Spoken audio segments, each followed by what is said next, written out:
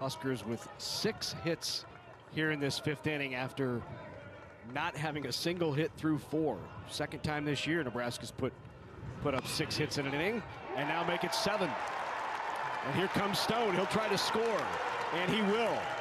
Stone standing up, RBI single for Josh Caron. You know, and I talked about the, the center field positioning and how by Stone driving the ball left, it opened up the hit to, to right center. What I failed to mention is Stone did a nice job of hustling out of the box and getting himself to second base on his hit.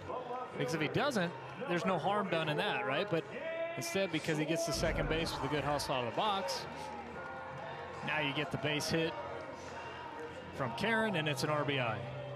Right? So it's those little things in baseball Yeah. that make a big difference. Huskers have now hit around